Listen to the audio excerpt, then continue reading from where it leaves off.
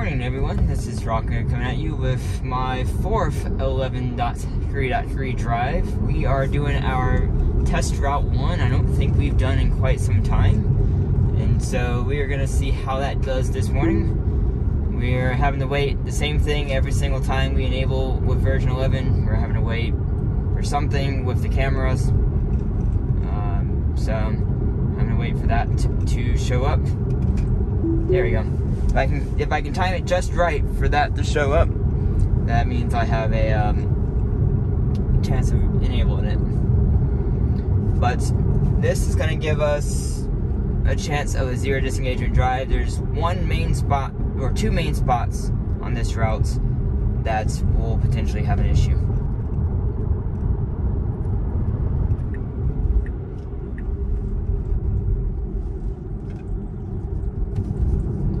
Pretty good getting on through that again. I still think it should just not bother speeding up to 45 right there. But that might just be my personal preference. So you can see it's slowing down a lot right here. For some reason, I'm pressing the accelerator to keep it from slowing down. It shouldn't almost, for any reason, slow down getting onto the highway. So I'm gonna tell it to turn the blinker on right here, and it still doesn't get over.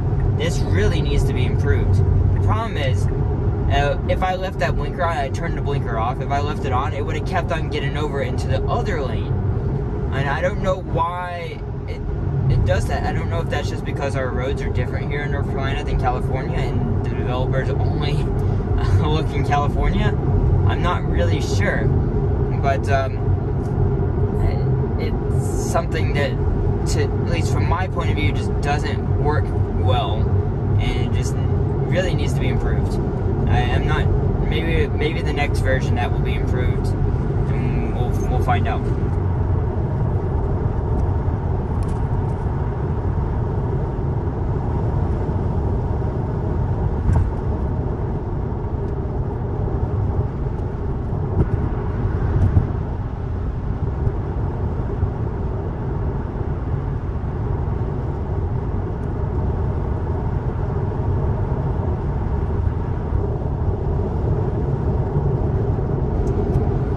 Okay, for some reason it's braking a lot right there. I don't know why. Uh, it's good you guys can see the, the slow down animation here. It, that didn't seem to need to brake at all right there.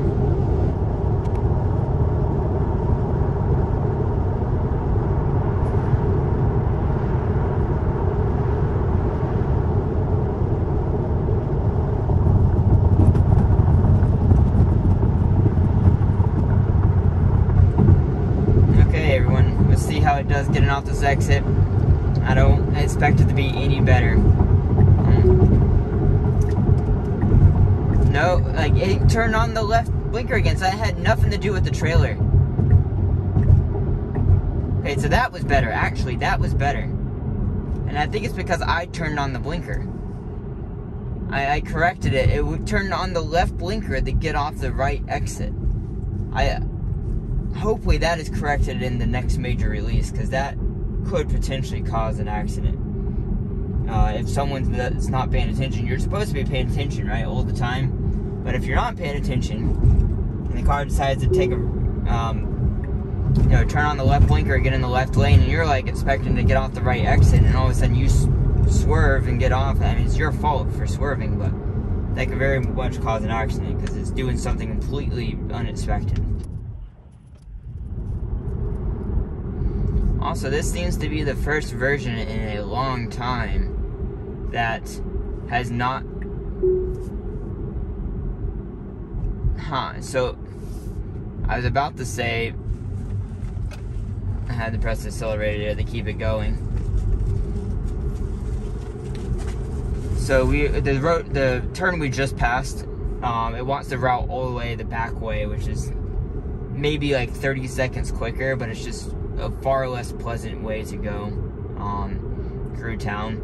Because there's so many stops and so many turns and so many it's like railroad tracks you have to go over and it's just nowhere near as pleasant. Maybe maybe it can save time if you're in a mega rush and you just you know want to be super inefficient and accelerate up to every stop etc etc But this way, it's just so much more pleasant to go through town because you're just it's just uh, you're staying on the main road the whole way basically. It's like taking the highway versus taking back roads.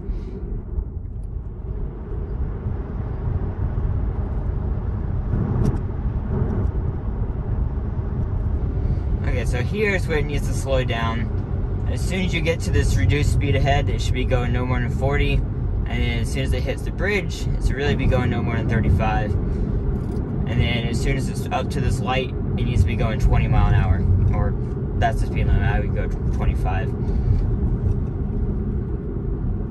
But since now it actually will slow down in an appropriate amount of time by its flicking the wheel, it it does it so much better than it did in the past.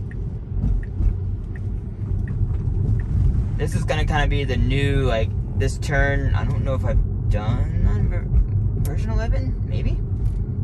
Uh, I'm not sure. Um, but there's gonna be a few new things uh, to test. Uh, I guess with the trailer we might have done, we did this route, maybe. Uh, no, we did the back route with the trailer. But, um, we've done the main major turn up ahead with the trailer. Uh, and that's unfortunately disengaged. And we'll see without if, and maybe a little bit less traffic if it won't disengage up there. And so we need to go ahead and already get over. Like I'm gonna get over as soon as we're past this light right here. It needs to get behind this car and in this lane because they, they, did this with the trailer last time. I waited all the way up until like right before the turn and then got over. It needs to get in this lane really far ahead. It used to always do that, and for some reason with version 11 it seems to not do that anymore. And also, when you get all the way in the far left, I'm gonna die in this hill when you get in the far left lane right here.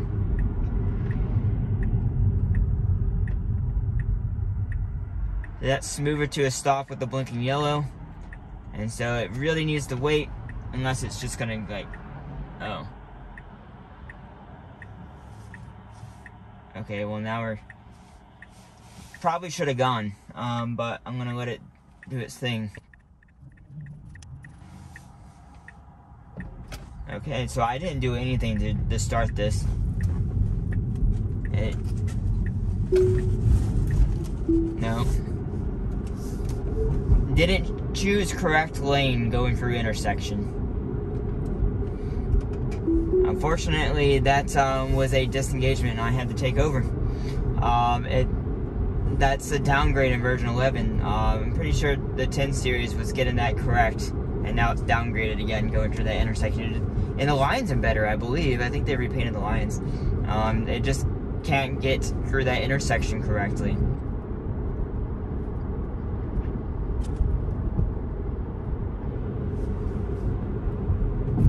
Okay, so it barely missed that pothole right there. Um, I almost disengaged because of that. I should have pressed the camera button, but I think it's a little bit late at this point. But um, those type of things will, like, it really needs to look at those things in the road. Uh, if this current system can't do that, it's going to be hard to trust it uh, without just, like, accepting the fact you're probably going to run into a pothole and destroy your suspension or blow out a tire or dent a rim or something. Like it just seems seems inevitable if you're not going to pay attention that that's going to happen. Like if this becomes a level three system and, and it can't avoid potholes, then you're you're going to have a bad day eventually. It's going going to happen. Ever since they painted this, the lines right here, this inter this um particular spot's been like nailed it, nails it every single time. And so never, we don't have an opportunity to see if version 11 would have fixed it if with the poor, poorly painted lines, if that would have fixed that issue. Regardless, every version since they painted it has been doing it great. Now going through here has also been smoother, though. It, okay, so that's good. Um, it got into the turn lane at an appropriate time. It should wait here unless it's going to go all the way through. Okay, that was good. And, then it proceeds. Excellent. That's what we want to see. Okay. So that's going to be the end of this drive, everyone. Um, if you have questions for me, put them down below. And we will uh, see you in the next video. Thanks for watching, everyone. Bye.